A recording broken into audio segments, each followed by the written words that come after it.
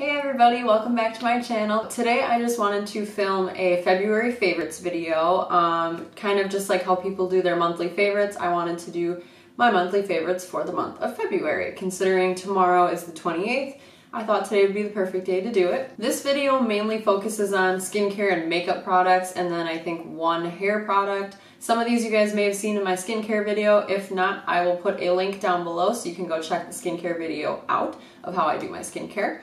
Otherwise, let's get into this video. I'm gonna start with makeup because there's not as many things for makeup as there is for skincare, so let's jump into makeup first. And I'm gonna start with something that you guys already have heard about in my Glossier video if you watched it and that is the Boy Brow. This is the Boy Brow by Glossier, and I am obsessed with this. I use this every single day, no fail, but if I'm putting like a little bit of makeup on or even a full face of makeup on, which I don't really do too much, but if I do, no matter what, I'm using my Glossier Boy Brow because this is just so perfect. I love everything about it. It gives like a natural brow, but it still gives you that bold brow at the same time. So like I have the color, I have the color brown, and um, since it's like a tinted gel, if you will, I don't know, it's just a brown gel, it's not a clear gel. I just, you know, brush that through my brows and then it just gives me that fullness and it gives me that, um, the hold for, since it's a gel. So I'm just completely obsessed with this. I use this all the time. Anytime I'm putting anything to my brows, it's this. Next, I want to talk about the mascara that I have been using for the past um, I would say maybe two weeks or so. I'm not one to venture into mascaras too much because once I find one that I like, I kind of stick to it. I have really, really thin lashes and they're really short. Um, so a lot of the mascaras that people like and rant and rave about don't work for me because of the brush and the just the mascara itself. But my friend was telling me about this one and this is the this is by Lancome. I honestly don't know how to say what this is, but I'll show you guys so you can see. I don't know how you'd pronounce that, but this is the mascara. So I'm just gonna link everything down below just so you guys know um, all the products that I'm talking about are gonna be in the description because I don't know how to say some of the things. This mascara I just got a few weeks ago, like I said, and it works really, really well actually. I don't remember what the claims were for the product, but um, my friend just pointed out to me at Ulta when we were at Ulta one day and it looked really cool and she was like, this is supposed to be really good. So then I honestly just grabbed it. I tested it, but it worked pretty good, but I it was kind of like a fail of a test because I had mascara on already from the day, so then I just put like one tiny coat on over that. So it wasn't like a true test, but even with that, it worked out pretty good. So I decided to try this out. I got the mini size, so this was $12, I believe, compared to I think 25 for the full size. And I wanted to get the mini size so I could test it out, see if I really like it, and then if I do really like it, I'll get the full size. This is something that I will be buying the full size of, and I've only been using it for two weeks, so it so far has worked pretty good. The only thing is that it is a little bit clumpy for my lashes personally. So what I tend to do is just, once you take it out, I just kind of like brush it off on the tube so that it's not too much product coming off onto my eyelashes. And I do that honestly with a lot of my mascaras that I get. Like I used to have, I still do have the Lash Paradise by L'Oreal. That's kind of supposed to be like a dupe for Too Faced. So even with that, I'll just brush off the sides of the mascara just to get less product on my lashes. Overall, really, really like this mascara. I'm definitely going to be buying the full size when this one runs out and I recommend it to you guys as well. If you have thin lashes, or thick lashes, I think this will work really well for your lashes. Next, I want to talk about this little Sephora lipstick, and this is from the Lip Stories collection that they released, I think, I don't really remember. I want to say it was in January, but I'm not 100% positive. Don't quote me. This is from the Lip Stories collection, and this is in the color... Made in Italy? No, I lied to you. That's not the color. So this lipstick is in the color Yum Yum. The packaging is so cute for all of their little lip stories. Let me show you. It's just so, so cute. Like it has little cookies on it and it's just, you know, yum yum. So I got this color and this is like a brown color, like a brown red, like a brick red, brown. I'll just swatch it for you so you can see. And it's just like a really pretty brown. Can you see that? It's a really pretty brown color.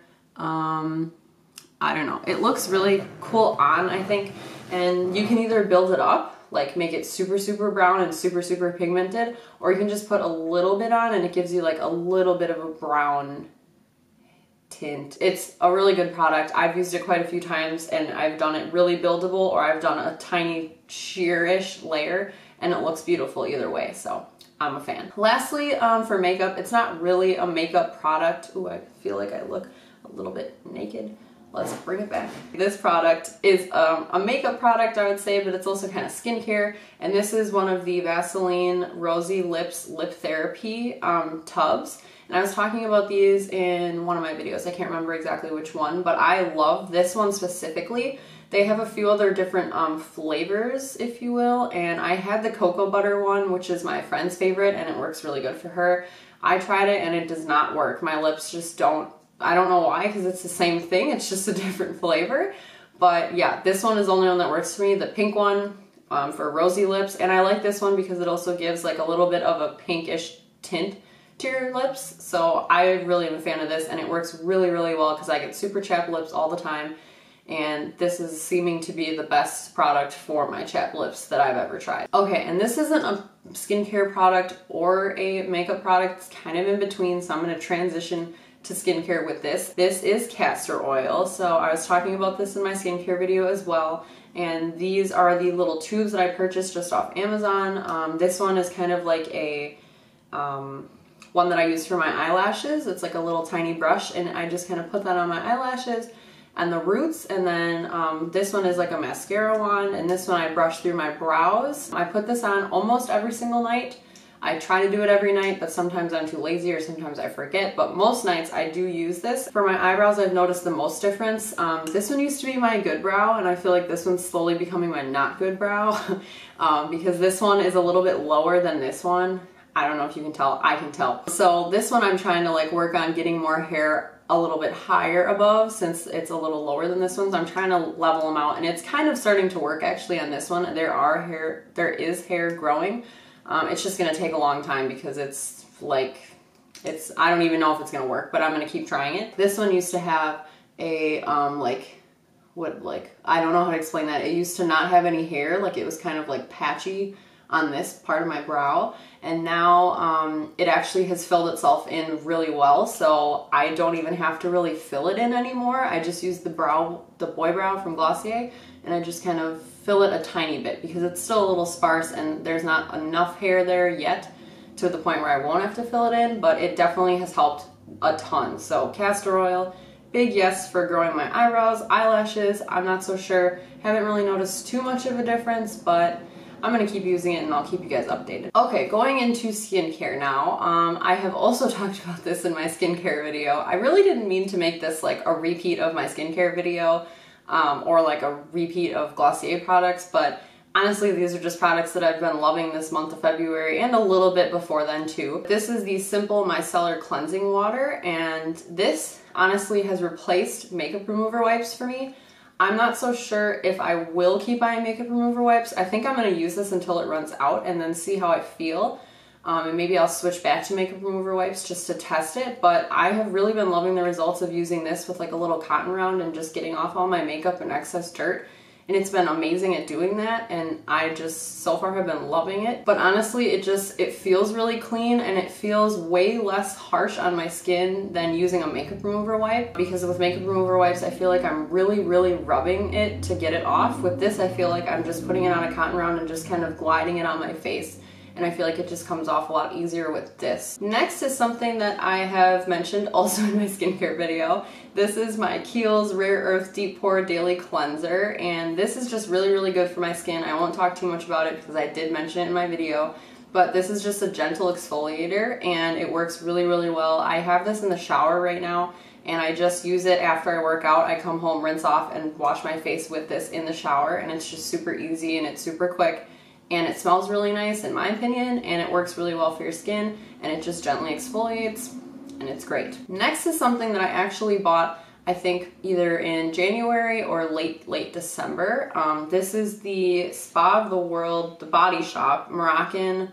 Rhassoul Body Clay. I probably said that completely wrong, but this is a firming clay body mask. Um, the lady that was helping me, she's the manager of the body shop and she of that location and she's just so knowledgeable and she knows what she's talking about and she's the one who talked me into buying that sorbet that I showed you guys in one of my videos and Um, she also had me buy this, and this is like a cellulite cream, um, cellulite mask, sorry.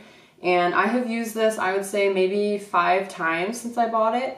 And honestly, I think that it works pretty good. Um, my cellulite's not completely gone. If you use this with working out and eating better, I feel like it works the best. I'm also looking into trying um, dry, dry, dry brushing um, because I've heard that that's a good thing to like help circulation um, to sort of get rid of the cellulite. So I think I'm to try this in combination with dry brushing. Um, let me know what you guys have heard about dry brushing or if you've tried it and it actually works because I'm looking to get one. Either way, I really do like this mask. It hasn't made it go away, um, but at the same time, I haven't used it enough to really test it for real. It doesn't say how often to use it, um, but since it's a mask, I would guess it's like any other face mask. You can probably use it every other day if you wanted to. I have only used it maybe once every two weeks, so I think that that's probably why I'm not seeing the results that I want to see.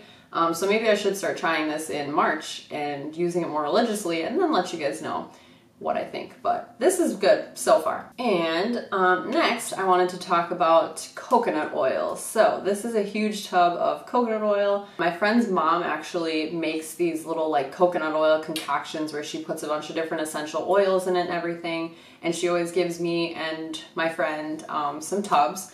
So I've had this tub for a while and I have used quite a bit of it. I use this as a moisturizer. So instead of using like a moisturizer or a lotion for my body, I'll put this on and this actually works really really well with my skin. Um, the only thing is that it's an oil so it is really really oily.